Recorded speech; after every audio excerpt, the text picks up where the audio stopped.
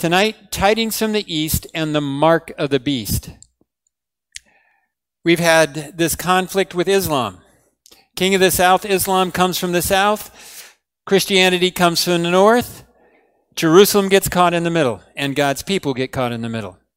We have the Crusades, the Ottomans, and the time of the end. There is kind of a graph of it over time, and the black line is the Muslim power curve, and the red line is the papal power curve. Papal led Christianity north. They're the ones that called for the Crusades, and on down the line. In our last presentation, we talked about this number three and how we are already in the third and final time of the end conflict. It is still intensifying, and the stuff that you're watching happening around you right now is a part of it. But radical Islam goes down. Moderate Islam follows papal led Christianity. But there is a small group of Muslims and a small group of Christians that unite together to share in the greatest evangelistic opportunity of all time, right on the backside of this. You see, this fight between the king of the north and the king of the south is not your fight if you're on God's side. Your fight is to fight to save people for Jesus Christ, to love people for Jesus Christ. And when this battle ends, radical Islam is gone. Moderate Islam is pretending to be following papal led Christianity.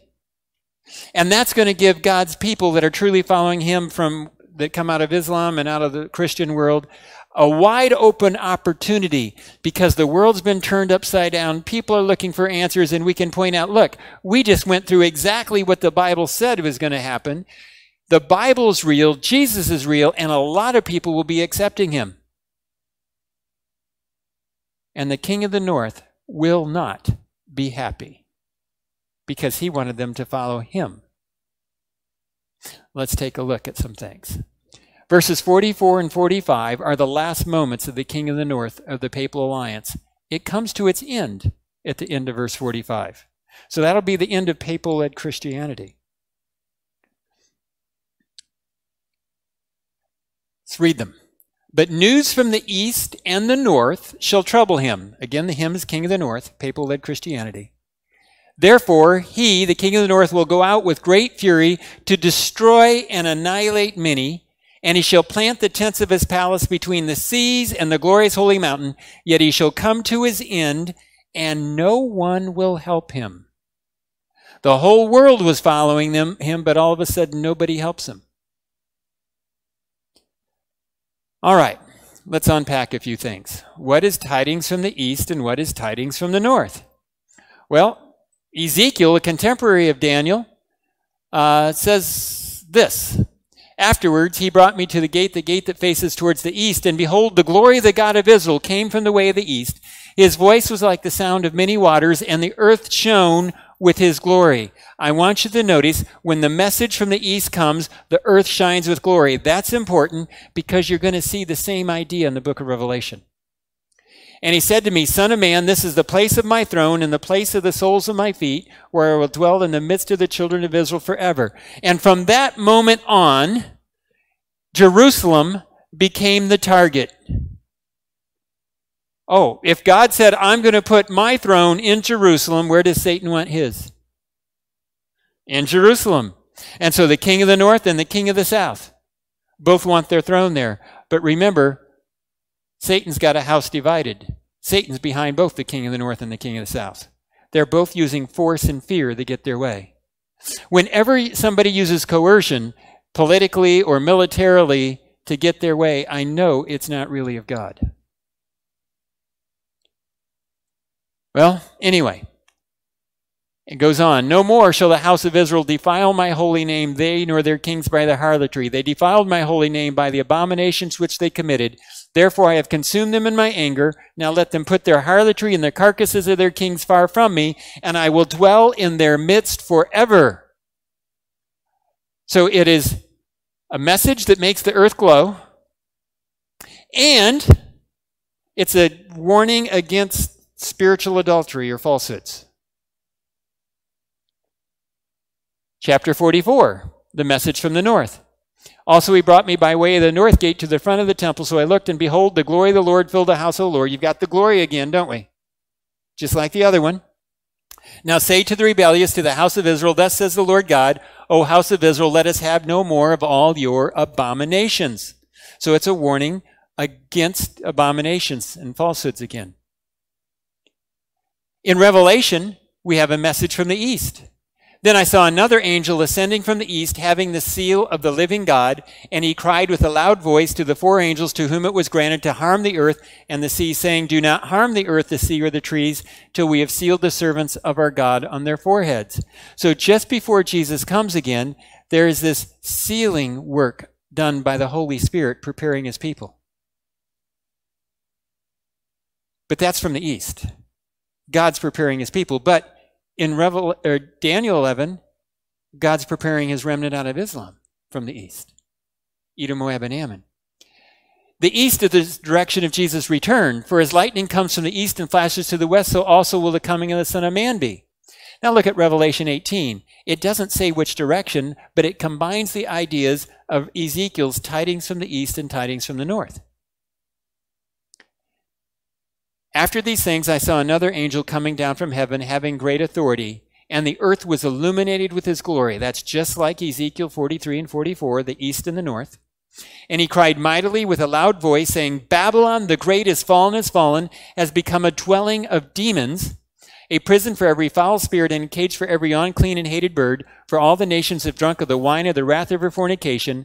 The kings of the earth have committed fornication with her, and the merchants of the earth have become rich through the abundance of her luxury. And I heard another voice from heaven saying, Come out of her, my people, lest you share in her sins, and lest you receive of her plagues, for her sins have reached to heaven, and God has remembered her iniquities. Therefore her plagues will come in one day, death and mourning and famine, and she will be utterly burned with fire for strong is the Lord God who judges her. And so, when God combines the terminology of the east and the north, we have this message that fills the earth with glory. And it is a preparation for the closing events. And what does he have to do to prepare us? He has to take the false teachings that papal led Christianity has brought into Christianity and clean us up and get us back on track so we're able to follow him legitimately. So they're truly connected to him and the Holy Spirit power, not the human traditions. And what's amazing in Daniel 11, the last two verses, going in the verse 12, 1, 2, and 3, it goes through one point after another that the papal system has, an, has corrupted to bring it back in the line. It tells us what they are, and we'll unpack them as we go. So, tidings from the summary for this tidings from the east and the north. Just before the destruction of the king of the north, which is the beast, the papacy, God sends a warning message to get away from it and all of its abominations. I mean, if you were God and you were about to destroy a group, would you try and get your people out of the group first? No kidding.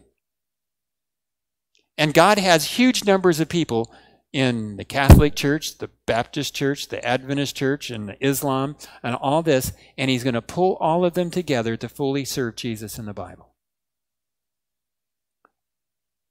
Now, everything in Daniel is both geopolitical and spiritual. You can map it on the map of what's happening, but it's also applying globally in a religious way, all right? You have Israel and Western Jordan side by side and it's a relatively friendly border. But what you also have in the Bible, religiously, Israel represents God's people of faith. And so there are people from within Jewish people that are truly turning to Jesus Christ. And you have from Edom, Moab, and Ammon, that's that group within Islam we talked about yesterday that's joining with God's people of faith. They're following Jesus in the Bible. And out of the north, out of Babylon, the original king of the north, when John uses the term Babylon. He's talking about the king of the north. God calls a remnant out of there. Notice God's pulling his remnant together into his Israel of faith. And they're going to be proclaiming, you don't follow the king of the south, you don't follow the king of the north, you follow Jesus and his word, the Bible. And it's going to get the king of the north really mad because he's conquered radical Islam.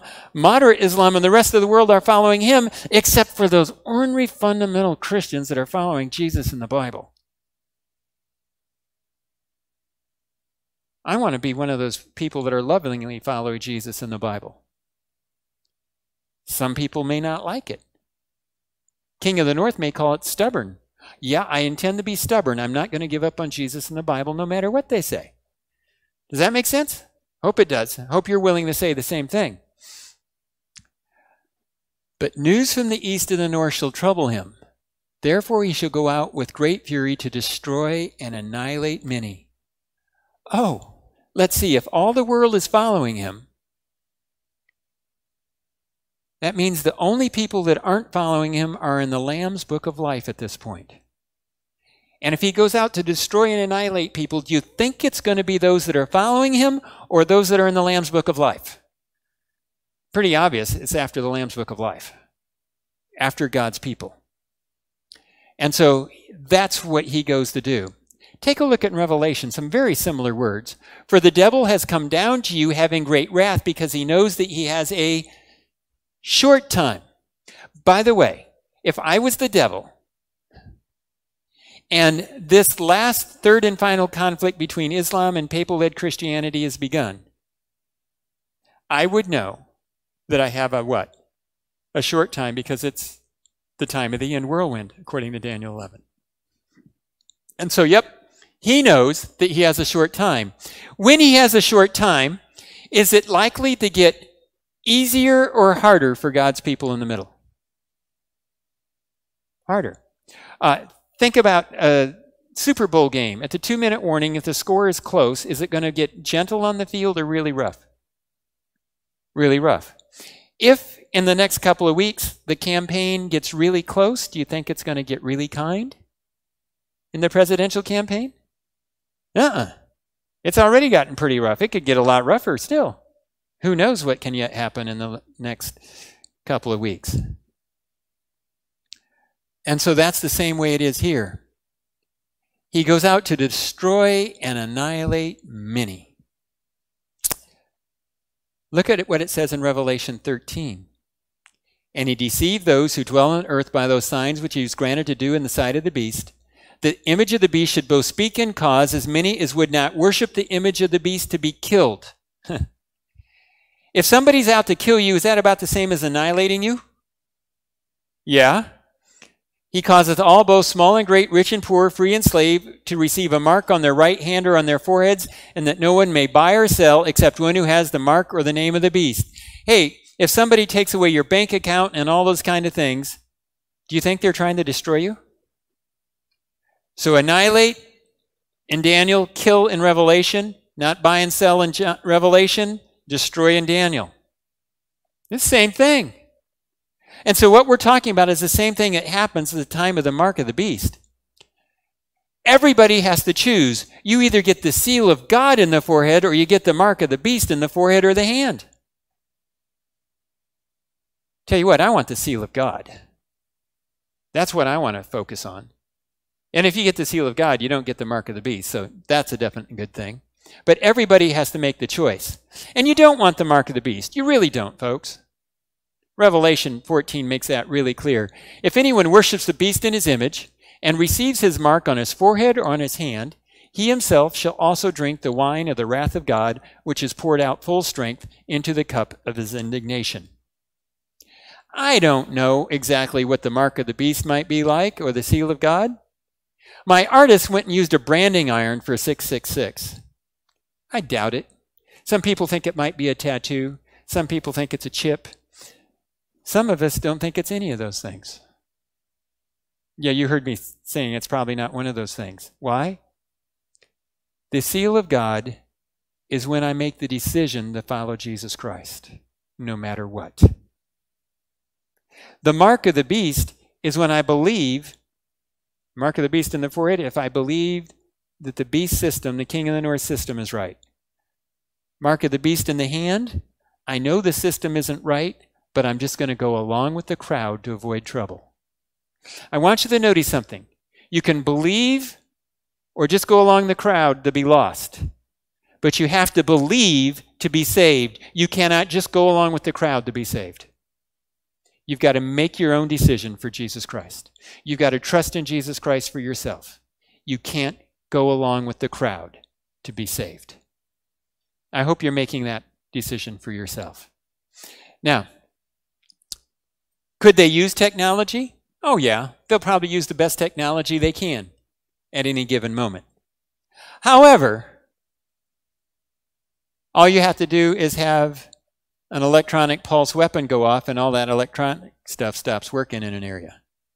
And if there is a good old fashioned solar storm, they had one in the 1840s, that if we had one like it today, most computers and most cars would stop working. Just a good old fashioned solar storm. So God could pretty much put us back to the Stone Age just with a flash of radiation from the sun, knocking out all those computers. That would be both good and bad, wouldn't it? But if you had a solar storm that knocked out the computer networks and your own computer, where did all your financial records just go? Yee! Scary thought, isn't it? This world could go into chaos so fast. I believe they will use the best technology they have, and it could be a chip or it could be a simple with all technology gone. Do you agree with the system or not? And if you say no, you can't buy and sell. If you say yes, you can. Uh, it can get pretty simple. You wear a mask and you get service. You don't wear a mask, you don't get service. Huh. We're getting practice, aren't we? I'm not saying the mask is the mark of a beast at all, but I'm just saying there are similarities and we're getting practice. Uh, the mask is not a religious issue on who you worship. Now, not everybody will agree with me in what I find when I search what the Bible says is the seal of God and the mark of the beast. But, friends, I'm going to share what I find, and you can get a concordance, and those of you who attend eight of the ten presentations can get a concordance for free, remember? Here's what I find when I look up the sign or seal. Both a sign or a seal are the same thing, interchangeable.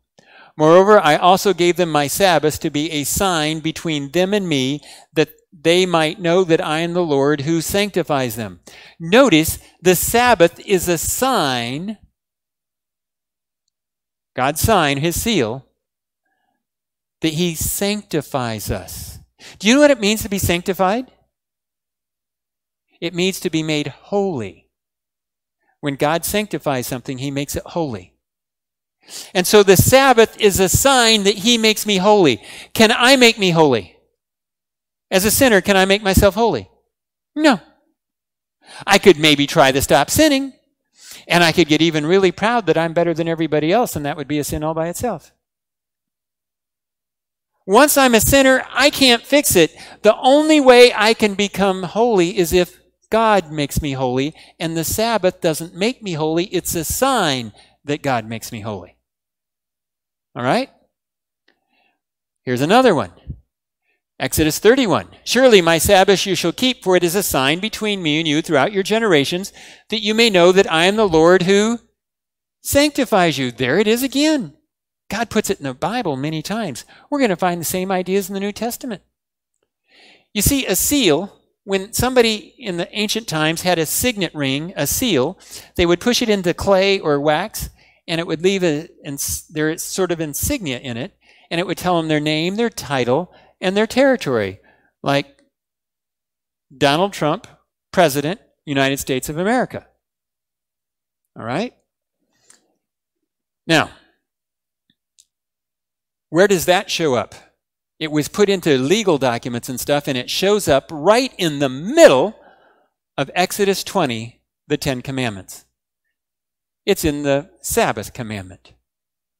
Remember, the Sabbath is the one he calls his sign that he makes us holy. Remember the Sabbath day to keep it holy. Oh, there's something about being holy here. The Sabbath was made holy on the seventh day of the week at creation. The Sabbath didn't do anything to be made holy.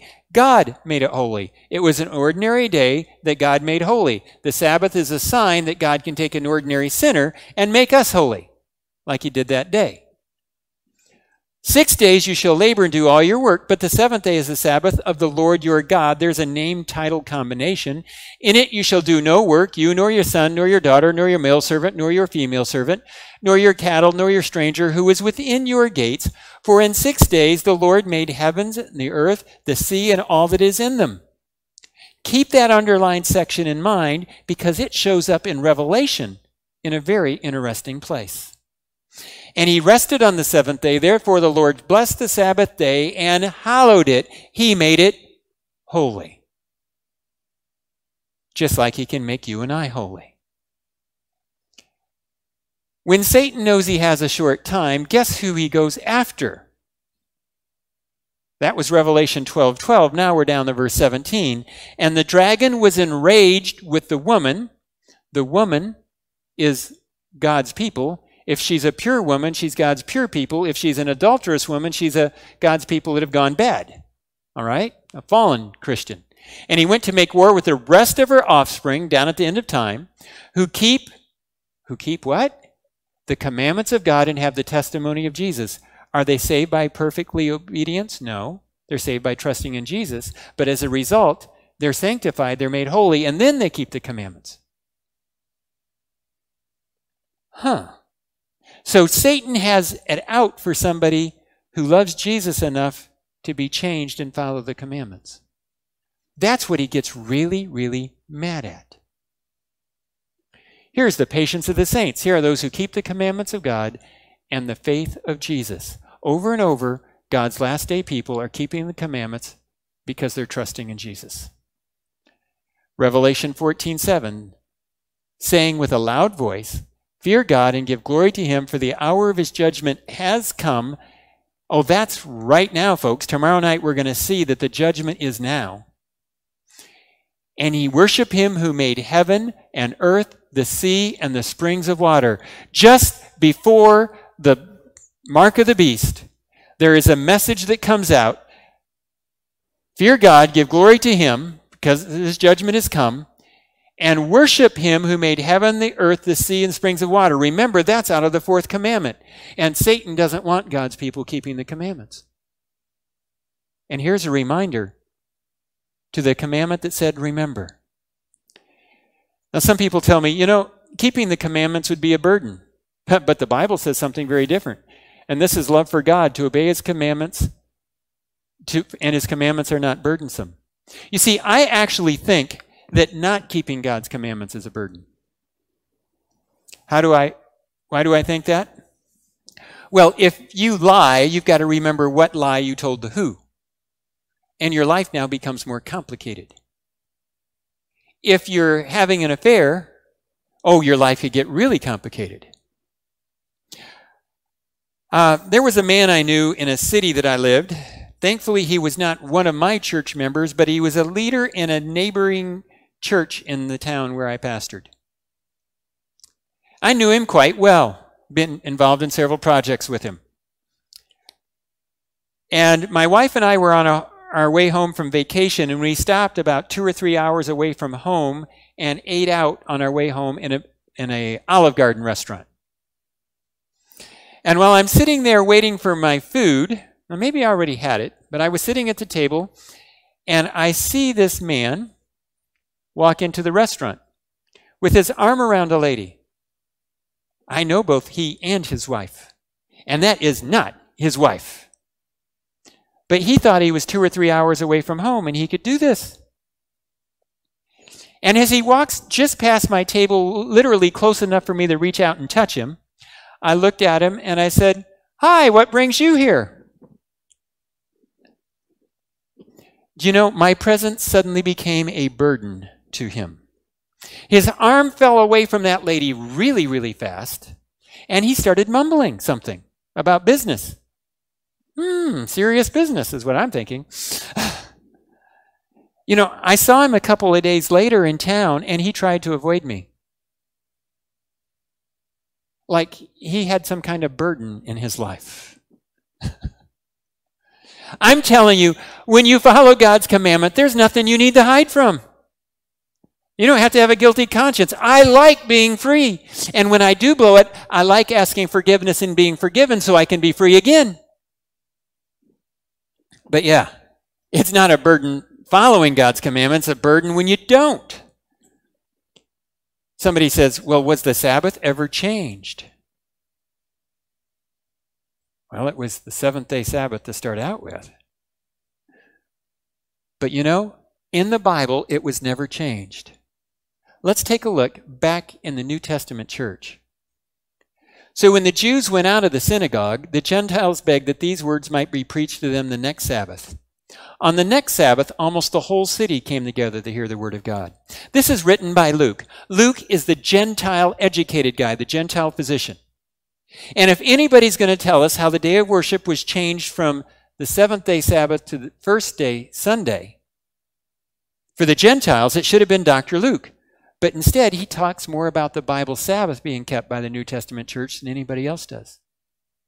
And so, what we have here is both Jews and Gentiles worshiping together on Sabbath. And on the next Sabbath, it was a big group of Jew and Gentile. Interesting if the Bible had, or Jesus had changed the Sabbath, they would have said, you don't need to come back next Sabbath, just show up tomorrow on Sunday because that's the day of worship for the Gentiles. Didn't say that. It said, Gentiles come back next Sabbath. Now let's go over to Acts chapter 18, another city. And he, Paul, reasoned in the synagogue every Sabbath and persuaded both Jews and Greeks, and he continued there a year and six months, teaching the word of God among them. Well, if he reasoned every Sabbath for a year and six months. You know, that's 70 some Sabbaths in a row kept by Gentile Christians in, after the death and resurrection of Jesus. After some of the disciples were already dead. So it's very clear in the New Testament, they didn't know about any change yet. And Isaiah actually says there's going to be the Sabbath still being kept in heaven. For as the new heavens and the new earth which I will make shall remain before me, says the Lord, and from one Sabbath to another all flesh shall come to worship me, says the Lord.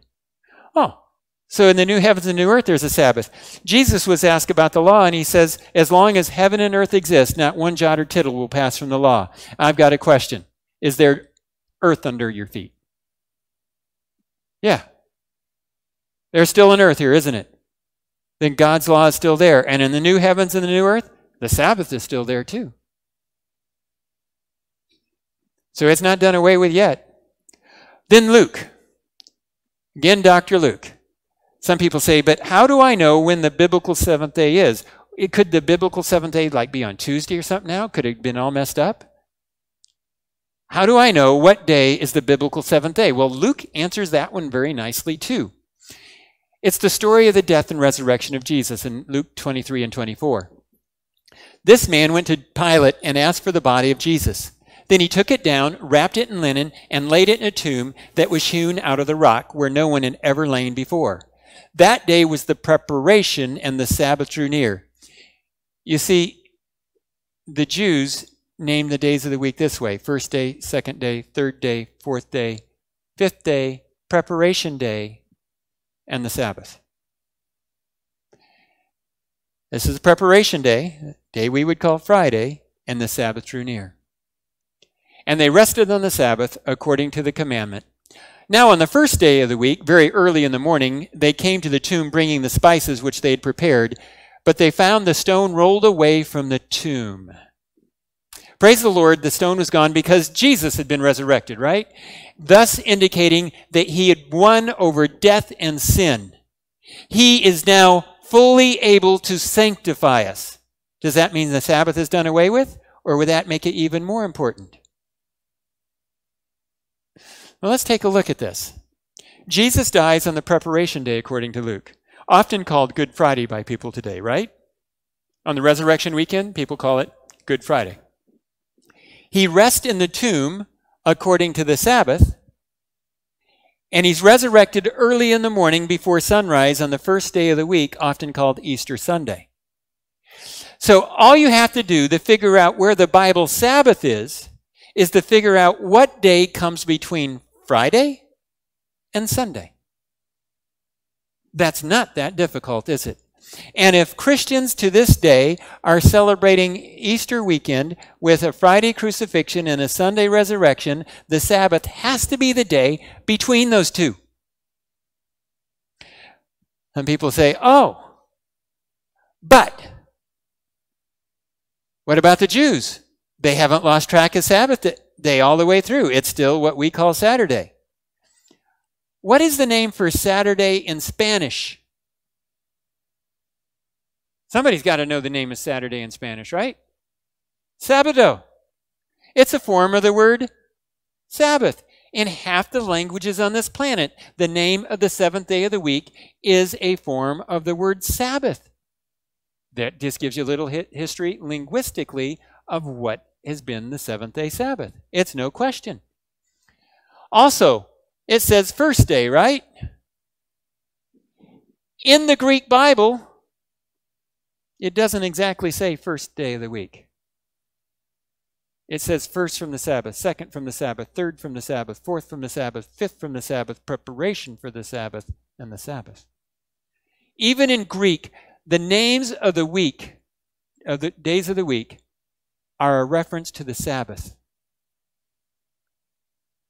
There are just so many things here. At creation, Jesus says it is finished and he rested on the Sabbath.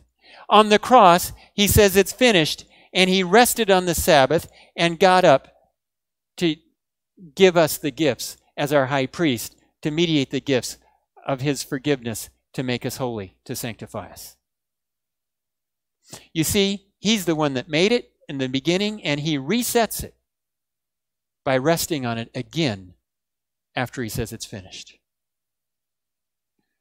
Just so many things there. Look what Martin Luther said. For he, Jesus, died at about 2 o'clock on Friday and consequently was dead for about two hours on the first day. That night he lay in the grave all day, which is the true Sabbath. On the third day, which we commemorate now, he rose from the dead. Now he's saying the seventh day of the week, that Saturday is the true Sabbath. That bothered Melanchthon so much, one of his right hand scholarly helpers, that Melanchthon began keeping the Sabbath. Hebrews 4 4. What's the meaning of the Sabbath? surprise, surprise, it's the same as the Old Testament. For he has spoken in a certain place of the seventh day in this way, and God rested on the seventh day from all his works. There remains therefore a rest for the people of God, for he who has entered his rest himself has ceased from his works as God did from his. Friends, get this. Can my works save me? No. Can my works cause me to be lost? Yes. The wages of sin is death. So do I want to say, hey, I want to trust in my works? Nope. Don't want to do that. So I'm going to rest from my works and trust in God's works to make me holy. Get this. The Sabbath is a day that you don't do your regular works. It is a sign that you're resting from your religious works and trusting in His works. And if you want to be determined to work your way into heaven, it doesn't work. You have to rest your way into heaven. You rest from your works in His works. I do believe in being saved by works. I'm going to be saved by Jesus' works when I rest in His works never saved by my works. And the Sabbath is an indicator. God took an ordinary day and he sanctified it as a symbol that he can take an ordinary sinner and sanctify us.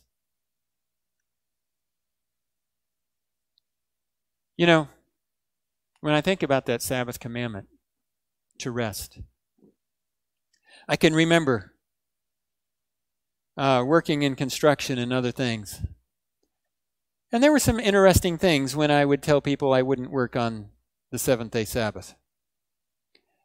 You know, you could have somebody just flat out tell you, if you're not here, you're not working here. And I would just simply say, you know, I can't. Because God asked me not to.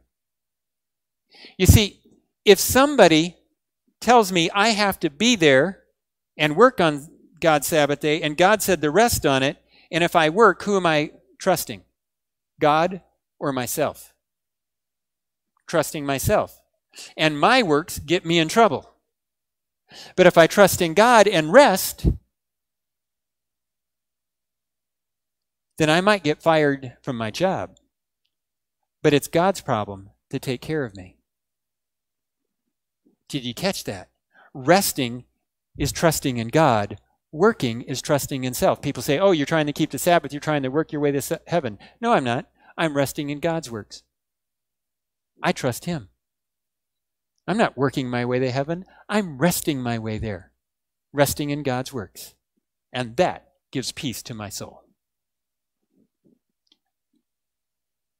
Well, somebody says that God's law has been abolished, right? No. Paul said it this way in Romans 3:31, "Do we then make void the law through faith? Certainly not. On the contrary, we establish the law. As long as I was trying to work my way to heaven, it would never work. But now that I trust in Jesus and I rest in him and distrust in him, now it'll work. Because he has the ability to do it that I don't have." Well, we looked at God's side. What about the B side? Well, remember in presentation two, the eighth characteristic that the papacy, the little horn king of the north, beast power, would think it could change times and laws and would fight against God's covenant or his law. Well, they claim they could do it. Remember this one? Catholic Ferraris' Ecclesiastical Dictionary. The Pope is of so great of authority and power that he can modify, change, or interpret even divine laws. The Pope can modify divine law since his power is not of man but of God, and he acts as vicegerent of God upon earth with most ample power of binding and loosing his sheep. They claim they can change God's law, but God said, Jesus said, his law will not change, not one jot or tittle. God said he won't change. Huh. They say they can change it. I'm going to stick with the Bible. Catholic Catechism. Question, which day is the Sabbath? Answer, Saturday is the Sabbath day. Question, why do we observe Sunday instead of Saturday? Answer, we observe Sunday instead of Saturday because the Catholic Church transferred the solemnity from Saturday to Sunday. Did you notice they didn't say Jesus did it, they didn't say God did it, they didn't say the disciples did it, they said they did it. That's why I can't follow it. I can't follow a tradition of people over the Word of God. You have to figure out what you're going to do, but I hope you're going to follow God's Word. St. Catherine's Church, Catholic Church in Algonac, Michigan. Perhaps the boldest thing, the most revolutionary change the church ever did happened in the first century. The holy day, the Sabbath, was changed from Saturday to Sunday. The day the Lord was chosen not from any directions noted in the scriptures, but from the church's sense of its own power. The day of resurrection, the day of Pentecost, 50 days later, came on the first day of the week. So this would be the new Sabbath. Did you notice they did it from a sense of their own power? It goes on to say something that's not quite true completely. It's partially true.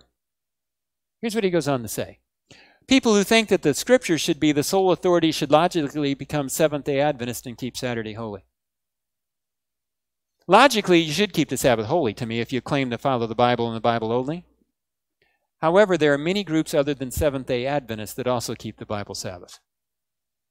There's a tremendous amount of them. It's just the Seventh day Adventist Church happens to be the largest of those groups by far, with somewhere around 20 plus million. Uh, that are Seventh day Adventist around the world. Continuing, in the book Faith of Millions, another Catholic writer, John O'Brien, but since Saturday, not Sunday, is specified in the Bible, isn't it curious that non Catholics who profess to take their religion directly from the Bible and not from the church observe Sunday instead of Saturday? Yes, of course, it's inconsistent, but the change was made about 15 centuries before Protestantism was born. They've continued to observe custom even though it rests upon the authority of the Catholic Church and not upon an explicit text in the Bible. That observance remains the reminder of the Mother Church from which non Catholic sects broke away. E. Interesting wording from a Catholic writer. Because in Revelation, it calls Babylon the mother of harlots. The, and the Catholic Church calls itself the Mother Church. And they say everybody who follows them on the Sunday thing eh, are their separated daughters. That's interesting wording when you compare it to Scripture and prophecy.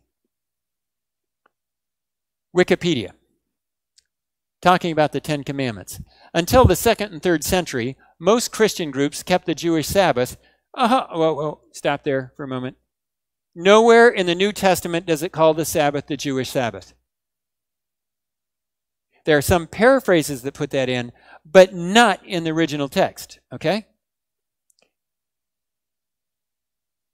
So, with the practice of Sunday observance emerging after the Jewish Roman Wars, the Catholic Church's general repudiation of Jewish practices during this period is apparent in the Council of Laodicea, 4th century AD, where Canon 29 of the Laodicean Council specifically refers to the Sabbath.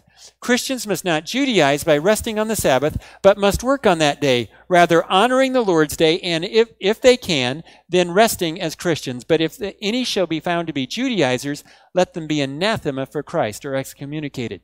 So look at what was happening. Jewish Roman wars. In Jerusalem is destroyed in 70 AD, all right, as a part of those Jewish Roman wars.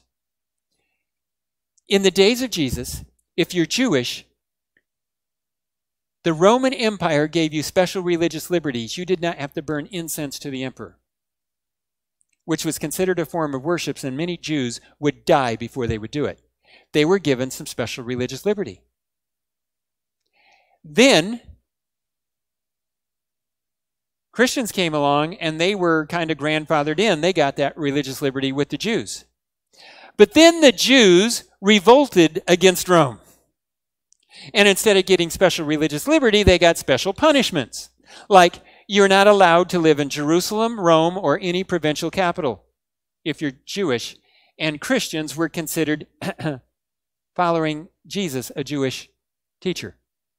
They were following the Bible and the same holy book as the Jews. So, hey, they're worshiping on the same day. They have the same holy book. They're following a Jewish teacher. They're Jews. And you had Christians that say, no, we're not. And they said, well, prove it. And you were having a discussion between the bishops of Alexandria and the bishops of Rome, and on who was the most important. Those are both provincial capitals, and these guys were looking for power, not getting moved out. And so they, Alexandria and Rome became the primary early spots that they switched from Sabbath to Sunday after the fall of Jerusalem. And then by the time you get to the fourth century, they're passing laws trying to force it. And they're saying, if you follow the Bible Sabbath, you're a Judaizer, and we're going to kick you out of the church and you're going to be lost. You lose your salvation. So you follow the Bible, you lose your salvation, according to the church. Well, that's an interesting one. They're pretty desperate to get their way through, aren't they? I would actually say follow the Bible is a better path to salvation than rejecting the Bible. Here's another one. Fourth century Gentile Christians, write Fredriksen, despite the anti Jewish ideology of their own bishops, kept Saturdays as their day of rest. Under his Constantine regime, Sunday became the Christian Sabbath. Constantine jammed paganism and Christianity together and made Sunday a legal day of worship with penalties for not obeying. And so that's the fourth century. Here's Constantine's coin. He knew what he was doing. He took the pagan sun burst and the cross, and he unites them, and there's the sun god in the middle. 80% of his kingdom was pagan, 20% were Christian. Ah, he just jammed them together. Notice the pagans get the majority of the coin. Let's go back to where we ended last night. Islam attacks papal led Christianity. Papacy in the U.S. conquer radical Islam. That leaves them in control. All the world follows the beast.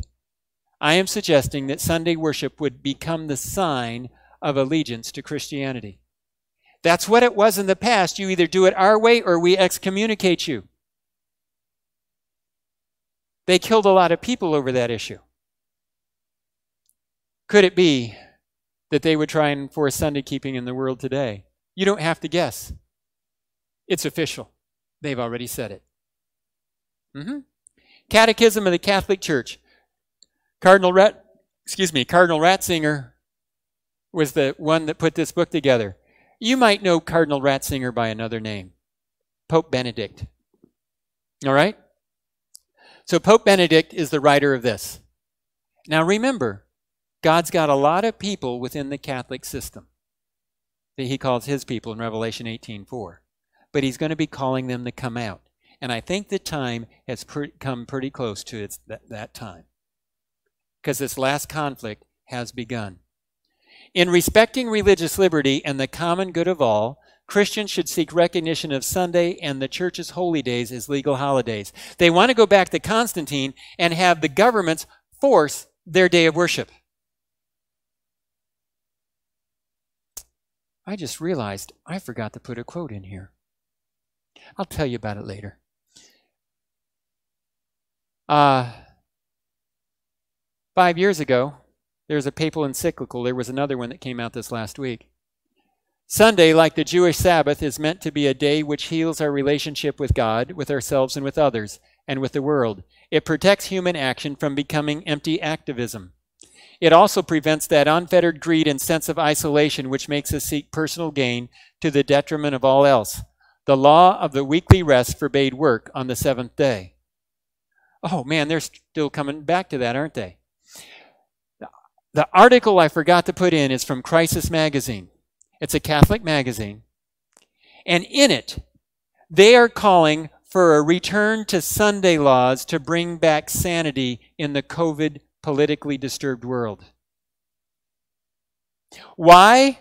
Because of the combined assault of Islam and the political left. That's the quote I forgot to put back in here. Sorry about that. Come tomorrow at 6 o'clock and you'll see it there.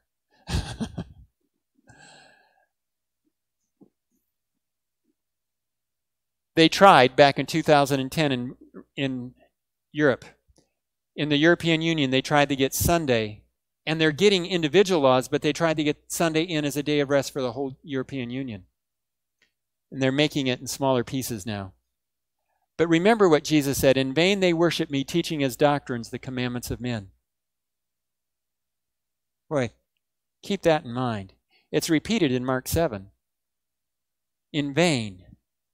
I want to worship God effectively, which means if we're going to be true followers of God, we really need to be digging into the Bible and follow what it says. That's what we really have to follow. So, is this just a Seventh day Adventist thing or is it from the Bible? That's the question you really need to ask. Because it's just a Seventh day Adventist thing, you can ignore it. But if it's from the Bible, you better take it seriously. Do you know what the good news is? God knows our hearts. You know what the bad news is?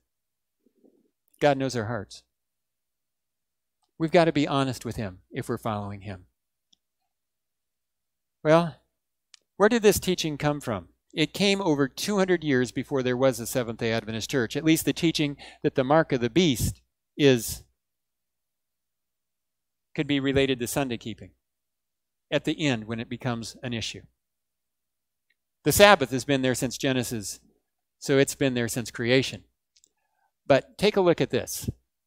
This book, written in 1657 by a guy by the name of Thomas Tillam, a minister of the gospel, the seventh day Sabbath sought out and celebrated, or the saints' last design upon the man of sin, with their advance of God's first institution to its primitive perfection, being a clear discovery of the black character in the head of the little horn, Daniel 7:25, the change of times and laws. With the Christians' glorious conquest over the mark of the beast and the recovery of the long-sighted seventh day to its ancient glory, where, Mr. Aspinwall may receive full answer to his late piece against the Sabbath. It's like a book report on the cover page. Uh, that's a fairly rare book. They were destroyed by both Protestants and Catholics. If you want one, I a few years back I heard of one for sale for eighteen thousand dollars. I think it's about, I don't remember, I think it's around 150 or a little more than 150 pages long. If you'd like to read it, I know where you can read one for free. On my website, on the resources page, I've got a PDF of the book. And uh, if you want to read it, you need to know something. You need to know how to read English, Old English. take a close look. See the saint's last design upon the man of sin? That's not laughed, divine, or thin. An S can look like an S or it can look like an F, like in last or sin. Aren't you glad they fixed that and made S's always look like S's now? But if there are too many F's, hmm, it's because it's an F. I mean, if too many F's, it's because it's an S. But if you take a careful look at that, you're going to see something interesting. Think about this for a moment. The papal coin I showed you the other day. Remember, Revelation 17 has this woman holding a cup full of abominations, which are teachings that have been corrupted, false teachings. Look what's in the cup a sunrise, which Ezekiel calls worshiping toward the rising sun the greater abomination, and they replace the Sabbath with the day of the sun. Now go back to this page. Do you see the cup? Way back in the 1600s, he was talking about Revelation 17 and the lady with a cup full of abominations being worshiping on the first day of the week, and he links it to the mark of the beast. There's the cup, there's the saucer, and there's something over it, just like that coin, a cup with the sun. One is to challenge the papacy. The other one is the one the papacy uses to cover themselves. I mean, that they came up with the art themselves. Now, God's seal, remember, name, territory, title, but it's really a test of love and loyalty. Will we be true to Him or will we follow the beast system? Everybody has to choose and the day of worship shows which side we're on. Jesus said it this way If you love me, keep my commandments, and I will pray the Father, and he will give you another helper, that he may abide with you forever, the Spirit of truth, whom the world cannot receive, because it neither sees him nor knows him. Somebody says, Oh, Tim, yeah, the Holy Spirit's the seal of God. It is. So is the Sabbath the seal of God. But get this it tells me that the Holy Spirit is connected and given to those who are keeping the commandments of God. But in Revelation, the beast has a counterfeit spirit and a counterfeit day. So make sure you're really following God, because if you're not definitely following God and you know you're not following something in here, you're cutting corners somewhere, you're in big trouble. Follow Jesus and the Bible. Jesus goes on, He who does not love me he will not keep my words. If you love me, keep my commandments. If you don't love me, don't bother. Keeping God's commandments without love for Jesus will not save you either. You've got to have Jesus. That's the simple truth about it. Somebody says, Well, Tim, what about people that didn't know anything about the Bible Sabbath? They worshiped on Sunday all their lives and they thought they were worshiping according to the Bible. Good news. Acts 17, verse 30. Truly, these times of ignorance got overlooked, but now commands all men everywhere to repent, because he's appointed a day on which he will judge the world in righteousness by the man whom he has ordained. He has given assurance of this to all by raising him from the dead. God knows our hearts. He knows the difference between willful and ignorant sin. If somebody thinks they're serving God, thankfully, God overlooks that. The Bible said so. But if I know the truth and I reject it and follow the lie anyway, God knows that too. That's why I say the good news is God knows your heart. The bad news is God knows your heart. let me tell you a quick story. Yeah, I'm going to have to make it quick. There is a pastor on his way home from church on Sunday. And he's driving down a street and he sees somebody taking shingles off their house to re roof their house. I don't know if you've ever done it, it's hard work, especially on a hot day. And so this guy's up there working away, and the pastor sees him and he thinks, man, that guy's working way too hard for a Sunday. Gets out of his car, walks over there, and says, Brother, don't you know you're not supposed to be working on the Lord's day? And the guy on the roof decides this could be fun. He's going to play with the guy, the pastor. He said, Really? I'm not supposed to be working today? Pastor says, No, you're not supposed to be working the day. He said, How do you know I'm not supposed to be working the day, Pastor? He says, The pastor, pastor says, It says in the Bible you're not supposed to be working the day. Guy on the roof says, Well, I believe the Bible. If you can show me where it says I'm not supposed to work today, I'll quit right now. Pastor thinks this is going to be easy. He goes over to his car, he grabs his Bible, flips open Exodus 20, and reads the Sabbath commandment that you nor your son, nor your manservant, nor your maidservant, nor your stranger within your gates, nobody's supposed to be working in your house. And sir, you're working. The guy says, Well, I do believe the Bible. Could you read that to me again? I just want to make sure about it. And so he reads it again, and partway through, the guy on the roof said, Whoa, whoa, stop, stop, stop. Didn't that say seventh day? Wasn't that yesterday? The pastor looks in his Bible, looks back and forth, looks at the verses around, realizes it does say seventh day, looks at the guy on the roof and says, It does say seventh day, doesn't it? The pastor knew where the verse was, but it never connected in his brain before.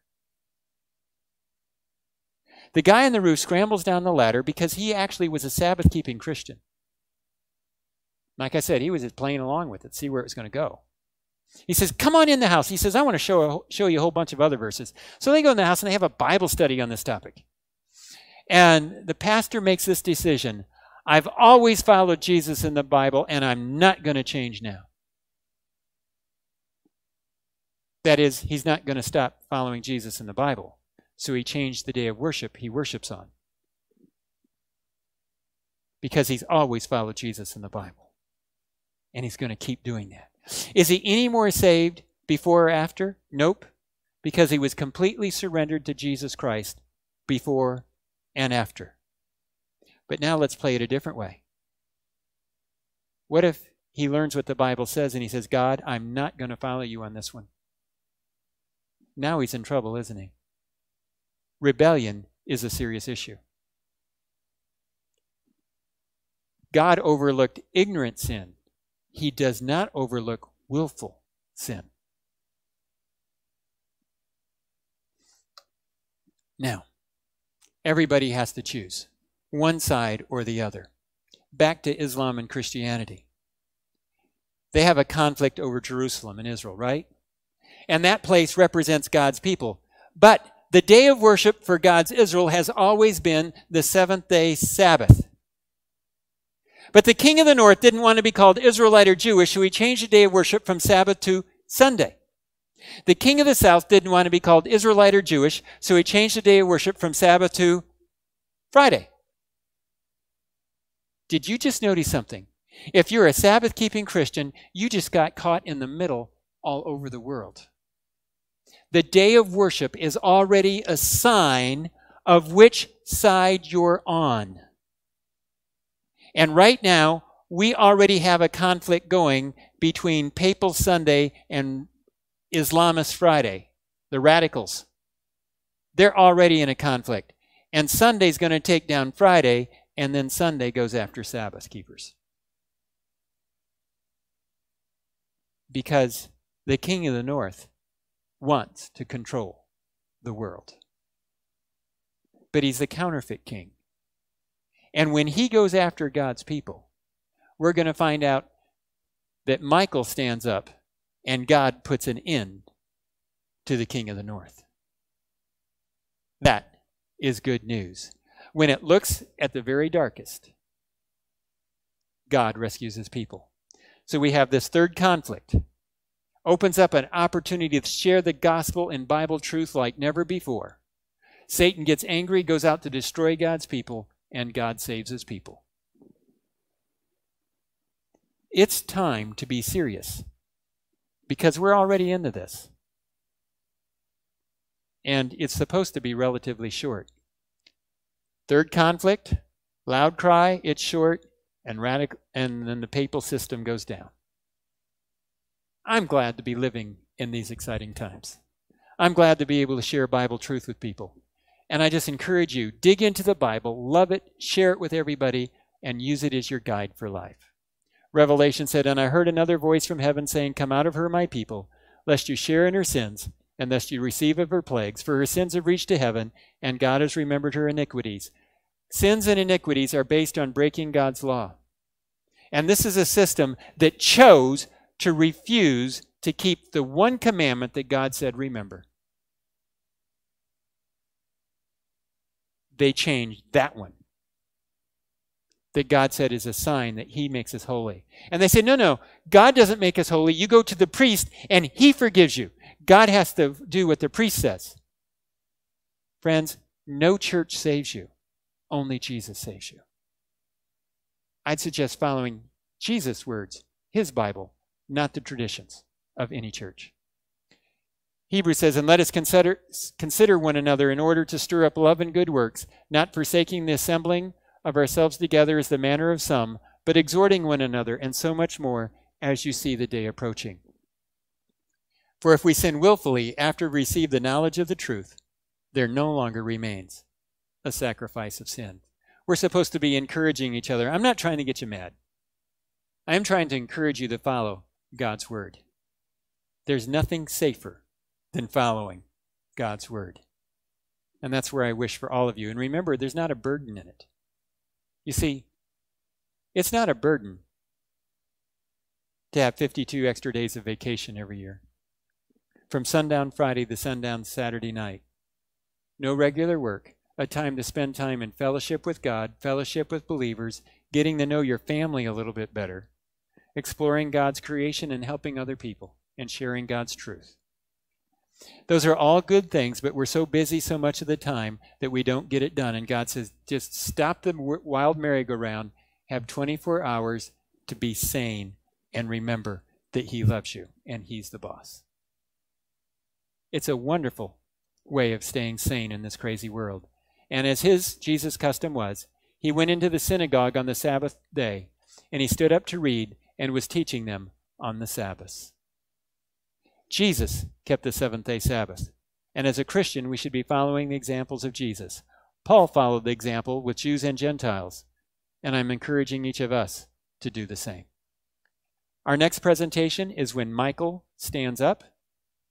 And uh, in that, let me just say it this way. If I've irritated any of you with the Sabbath thing, you're going to love the next one, even if you got irritated with me tonight. Uh, this is how God begins to rescue his people. From Daniel 12:1 onward, it's all about God rescuing his people. But he rescues us not only at the time of the end, but he rescues us from false teachings in the process. And so it's an exciting rescue. And we begin that tomorrow evening with the topic of when Michael stands up. Again, tomorrow evening we also have uh, a question and answer period from 8:30 to 9. And I hope you'll be able to give me some questions, write them out on the back of your response envelopes, hand them to me out in the foyer tonight, and I will have those things. Hopefully, I'll have an answer figured out for each of the questions that come in. If not, I'll take hands or people can email questions in to us or on the chat, however, to get questions into us. And then if I don't have questions, we'll have a shorter than half hour period.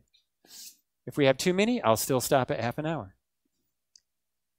Our response envelope tonight, if you can pull that envelope out, uh, statement number one tonight, you just respond on your opinion, yes, no, or question. Eventually, everyone will have to choose sides by accepting God's seal or Satan's mark. Everyone has to choose sides by accepting God's seal or Satan's mark. Number two, According to the Bible, the Sabbath is a sign that God makes us holy. Is it true that according to the Bible, the Sabbath is a sign that God makes us holy? Number three, the seventh day was the Sabbath of Old Testament Israel and the New Testament church, God's Israel of faith. Yes, no, or question mark. And number four, the papacy, the king of the north, claims it changed the day of worship to Sunday, while Islam, the king of the south, changed the primary day of Islamic prayer to Friday, and the sermon, by the way, is there too. Both made the change for anti Jewish, anti Israel reasons. Is it true that they both have a changed day? And number five, yes, no, or you're not sure, question mark, because Jesus said, if you love me, keep my commandments, and God's last day followers in Revelation keep the commandments and have the faith of Jesus, then God's followers should keep all ten of God's commandments, including the seventh day Sabbath. Do you see that God would want you to do that? If so, put a yes down on there. If you think the answer is no, you do that. Or if you're not sure yet, you need to study it, put a question mark. And again, question and answer tomorrow night at 8:30 and when Michael stands up at 7:30. And oh, that's one of the fun ones too. I enjoy that presentation. Let's close with prayer. Dear heavenly Father, thank you that you give us forgiveness, that you make us holy, and that we can trust in your holiness and your works, knowing that we're forgiven from ours. Help us to love people and never think we're better than anybody else because we all need the same forgiveness. We all need the same change of your spirit changing us from the inside out. And Lord, I ask that you gather us together as your people enliven our interest, our pour your spirit out so that we'll actually reach out and share these truths and your love with others. I thank you for this in Jesus' name. Amen.